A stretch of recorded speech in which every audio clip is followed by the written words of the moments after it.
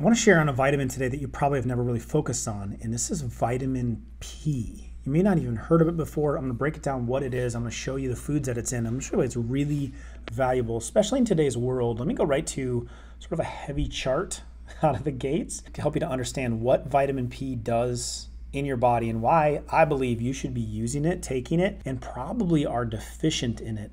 Let's go to this. this picture of the cell. May have made one of these when you were a kid. You know, you had like the mitochondria floating around, and you put a cell, and you had a nucleus, and maybe kind of did some of that.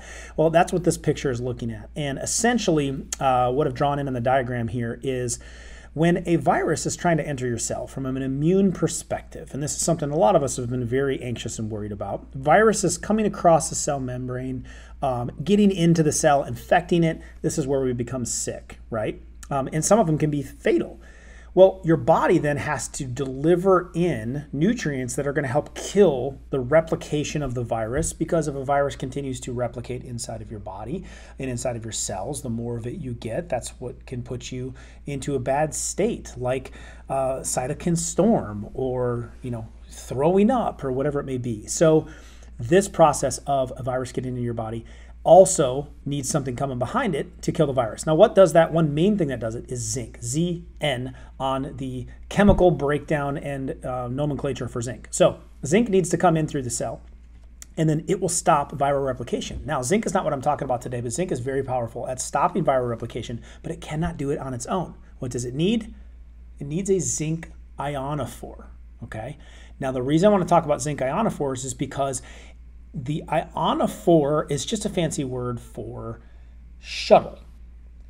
And the uh, zinc ionophore is going to be a shuttle that's going to give zinc the needed ride to fit through the hole in the cell to get in to stop the replication of the virus and do what it needs to do. Pretty important process for us. Now, there are a lot of drugs out there that are trying to do exactly what I just showed you but I'm going to show you how to get this from food in just a moment. But one of the more popular ones, very buzzworthy one that you might have heard of, hydrochloroquine or chloroquine. Chloroquine is a zinc ionophore. So, one way that they're discussing that chloroquine is actually working against viral replication and being a used treatment is because it gets zinc and other immune killers that stop viral replication across the cell membrane. But it has a whole ton of side effects. I won't go into all of those right now, but it is a drug. There are side effects involved with it. It's a lengthy one. I've actually gone through uh, in my Immune You Masterclass the side effect packet for this drug. So I'm always looking, well, okay, now to understand the concept of what the drug is trying to do, and we want to get zinc into your body's cells so you can stop viral replication, and what you're about to find in a little bit, a whole other host of benefits. Is there anything else that could be used to give zinc a ride? And that answer is exactly what you expect vitamin P. Vitamin P is a group of bioflavonoids, flavonoids, phytonutrients plant based. They come from fruits and vegetables. And you may know this vitamin P as quercetin. Quercetin is actually a zinc ionophore, and it actually helps stop the replication of viruses when you put it into your body. Fruits and vegetables like kales and cranberries and cherries and apples and oranges. Onions are a great source of quercetin, especially if you eat them raw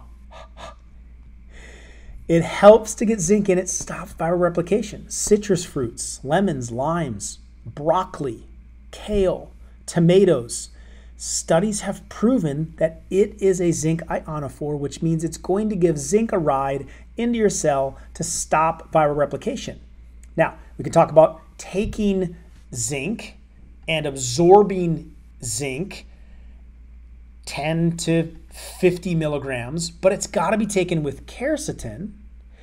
Also, another component that helps it is vitamin C. Well, the good news is a lot of these vitamins that are pertaining to immune health are all found in the exact same foods. So we look at citrus fruits, broccolis, kales, apples, berries. These are important. A zinc ionophore is quercetin, but what else does it do? So glad you asked. Number one, it reduces inflammation. So I believe you should be getting quercetin in and getting these bioflavonoids, vitamin P, into your body to help fight inflammation. And inflammation is a body's response to stress, but it can actually help, quercetin can, to reduce chronic inflammation in the body. So the stuff that's just lingering and still being there and your wounds aren't healing up. Excessive inflammation in the body, oftentimes caused by virus, quercetin could be a good response. Number two, quercetin lowers the risk of cancer. There's research that shows that diets that are high in these bioflavonoids, like vitamin P, quercetin, can lower the risk of cancer, such as prostate cancer. So for men, that's probably a big one to be adding in.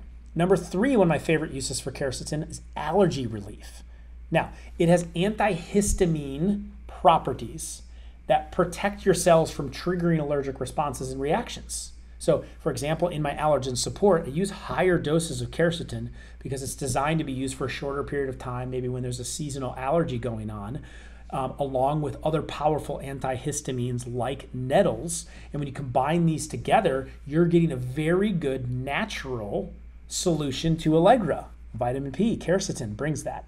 Number four are neurological disorders and the defense of them.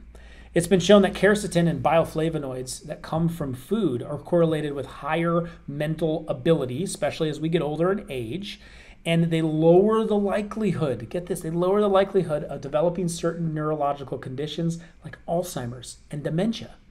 Quercetin, yet another powerhouse, lowering, number five, the risk of heart disease. Perhaps the biggest potential benefit that's kind of you know under the radar of vitamin P and quercetin is its ability to lower the risk of heart disease. Heart disease is the number one killer of Americans. It's closely linked with high cholesterol and high blood pressure. It's believed that quercetin can actually improve the health of your blood vessels. Additionally, quercetin may support lowering your blood pressure if it's absorbed properly, and long term absorption of quercetin can result in lower cholesterol levels. And then finally, we come full circle, number six, to infectious disease. I think it's a must that it be put in for immune health. It has known antibacterial properties and it can fend off certain bacterias and respiratory infections and digestive infections. And then, of course, it is very good at fighting viruses. Now, there are a couple major keys when taking quercetin. First off, the warning and there's significant benefits to this. And if you're taking lower doses, there's not much to worry about. But if you are taking certain medications like antibiotics or cyclosporin or a liver medication, you might want to talk to your doctor about any possible interactions or pharmacists to make sure you're not like taking some huge dose. And the only time I really recommend a really high dose of quercetin is during a major allergic response or if you're trying to, you know, get your histamines under control, you have a histamine response, that's when I would do higher doses. And that means 200, 400, 600 milligrams of going that high of quercetin. But when it comes to viral responses and fighting off viruses and getting the antibacterial impact, 20 to 100 milligrams a day is a fantastic dose. You're not going to have any negative kickback from that, and it's going to be doing its job. Now, something very, very crucial to note if you are taking a quercetin or want to take vitamin P, check this out. Vitamin P, quercetin, and vitamin C synergistically work together. They must be taken together for absorption. So, what I just said is as long as you're properly absorbing the quercetin, then you get the benefits to the blood vessels. Then you get the benefits to the blood pressure. Then you get the benefits to the cholesterol and the neurological disorders. But you have to absorb it. It's not what you take, it's what you absorb. Vitamin C allows the quercetin to get absorbed.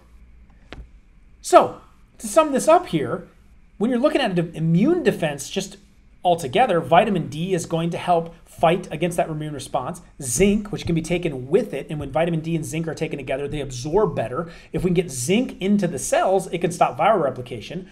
Quercetin does that, and in order to properly have enough quercetin absorbed in your body, you're going to need vitamin C. So the powerhouse is vitamin D, zinc, vitamin C, and vitamin P quercetin. So I think it's one that you need to really consider putting into the system. Uh, I have it in my high dose vitamin C powder. I put the two of them together to get it in. Um, with the vitamin D complex, I combine the vitamin D and the zinc and the probiotics and magnesium together. It's how these work together when you start to understand them really helps their absorption and really unlocks their healing powers. Vitamin P might just be that immune boosting nutrient that you need from some delicious foods like citrus fruits and onions and kale that can you use to get it into your system or supplement with it. But make sure you take it properly with vitamin c to get it into the system get it absorbed. There's a whole bunch of other benefits for your heart for cancer for neurological health. All of these unknown hidden benefits of possible super vitamin to get into your system. Now next up to tie all that together for you i do want you to stop taking vitamin d until you watch this video right here. Check it out.